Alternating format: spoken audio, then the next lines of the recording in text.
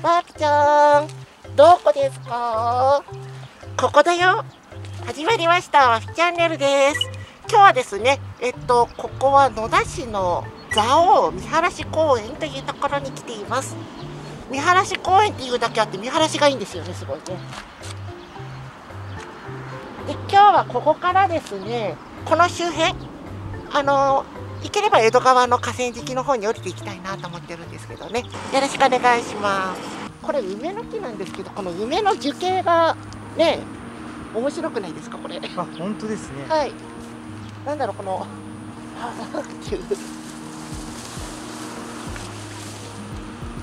これ多分近づきすぎるとあの樹形のいい感じが出ないんですよ。少し離れたところから見るとなんかモンスターみたいなというか本当ですねはい。あとこれはあの植えてあるものなんですけれどもね、ユリの木って言います。ユリの木はい。別名反天木って言いまして、どうですかね。これがあのお祭りの時に着る反天みたいなので、反天木。うんはい。これ斑点みたいっていうのはそのは葉っぱの形がっていうことですあ、ねそうです。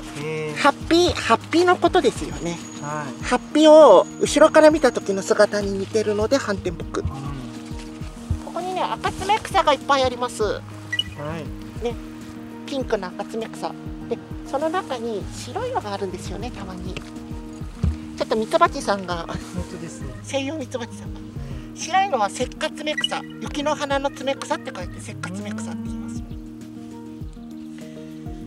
この赤爪草は蜜がいっぱい出るので蜂さんとかがねすごい来ますよね。あこっちの方がいっぱいありましたね。石化爪草です。これなんか双子なんですけどこの子。ほら。本当ですね。あ虫さんが隠れてた。それからこれは双子。う双子のせっかつめ草ですね。んはい。はい。普通はこっちのピンクなんですけどね。あこれもなんか変な花の咲き方してるんですけど。どうしちゃったんでしょうね。ははい。し白いのは白い赤爪草というね面白い あれなんですけど。い赤爪草ですけど赤爪草なのに白。白。白。爪草は白爪草もあるんですよねここね。うんこっちが白爪草？これがね。白爪草はここに葉っぱがつかないんですよ。はい。だからこれ葉っぱがこうやってついてたら赤爪草の白。この白爪草も随分長くてあの冠作るのにちょうど良さそうなそうですね。感じですけどね、はい。おまだらカミキリくん飛んできました。おおこの子はですねいいんですけれどもあのおお すごいああらあらあらっぽい。この子いいんですけれどもうかつに触ると噛んでくるのでねあそうですね。け痛いんですよあれ、はここに肝臓のつまみがありますね。い肝臓。はい。えーと多分やぶ肝臓になると思いますけれどもね。ちょっと咲いてみないとわかんないんです、うん。一重咲きなら花びら6枚だったら野肝臓。で花びらがぐちゃぐちゃっていっぱいあったらやぶ肝臓になります。はい。まあどっちも食べられますけれどもね。春の新芽とあとなんかこのつぼみも食べられるのかな。だからまあつぼみ取っちゃうとお花が見られないんですけど食べようと思えば食べられる。とはい。いう感じですかね、ブログやらツイッターやらでギシギシばっかりつぶやいてるんですけれども。まあこれはマニアックすぎるのでね。あのはい。まあ、ギシギシ。で、これはあの江戸のギシギシですかね。マニアックじゃないやつをちょっとね。江戸のギシギシって、このすごい赤いのが綺麗なんですよ、ここの。はい。はいはいトゲトゲもあってね。はいこれがいいですよね。カタツムリさんが休んでますね。生きてるか。あ、一応顔出してますよ、ちゃんと。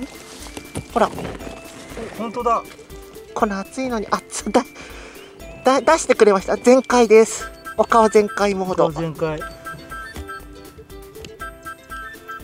でも、なんか恥ずかしがってますね、すごい。うん。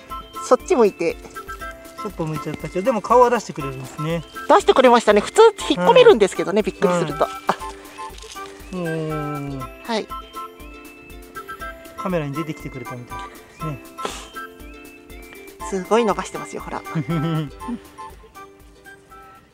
あのここにうどん毛の花が咲いてます。うどん毛。うどん毛。これですね。うどん毛あれ？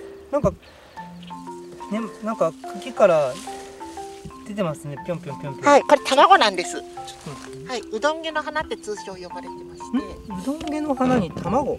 うどん毛の花って呼ばれている卵。ああはいじゃあこれは植物じゃなくて虫さんの卵です。え？ー草かげろうっていうかげろうの仲間の卵なんですけどね。えどういうことです？これはん卵まあそのちっちゃいのは卵じゃないですか、はい。それについてるこの紐みたいなのなんですかこれ？まあこれはあの卵をくっつけるためのえ？おまけみたいなもんですかね。これを虫が出してるんですか？そうです。えこんな卵があるんだ。綺麗ですよね。くっついてる植物はこれなんですか？これはギシギシの仲間ああじゃあギシギシ。まあ他の植物にも産むんですかね？あの何でもいいんですよ。へえど土台は要はその産みつけられる場所が適切な場所だったら。じゃあ植物以外にも産むこともあるんですかね？あありえますね。へえあのワッチャンネルの図鑑ではすでに作ってるんですけれどもそこそこ珍しいアザミなんですよね。白花タアザミ。はい。はい。なんかこういう状態になってるのは初めて見たかもしれないですね。ああそうかもしんないですねあのー、少ないんですよこれ。なんだろう川のアザミって言ったらいいんですか？うんだから利根川と江戸川のこの水系の中には個人的にはすごく多いんですけれどもね。うんはい、それ以外の場所には生えないので、うん。まあ、ちょっとレアレアアザミです。ねこれ花の重さでこう垂れちゃってる感じ。これ特に重さってわけじゃないんですけれども、うんうんかこれ種の特徴なんですよね。あそうなんですか。こうなんかメリ垂れちゃうのットががあるのかわかんないんですけど。上向いてるとまあ一つ考えられるのは上向いてると雨が降った時に花粉が流されちゃうあそういうことですか。とた多分ですよ。聞いてみないとわかんないですけどこの子に